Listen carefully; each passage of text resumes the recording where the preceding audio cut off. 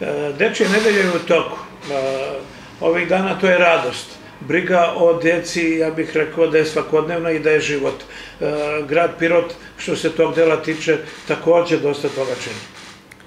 Tako je, Dečja nedelja je u toku, juče smo primili decu iz škola, vrtića, osnovnih i srednjih škola.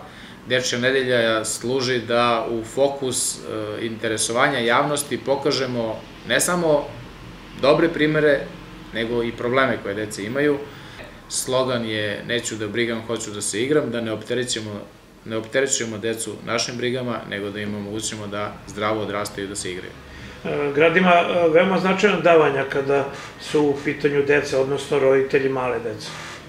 Ja sam ta davanja juče pročitao pre svega zbog javnosti, dakle mi smo ove godine prvi put ustanovili jednu meru koja je dala dosta dobre efekte, a to je da smo za povodom polaska decu u školu 1. septembra sve, sve prvake koji su korisnici dečjeg dodatka e, nagradili sa 10.000 dinara, odnosno omogućili roditeljima da lakše pripreme decu za školu.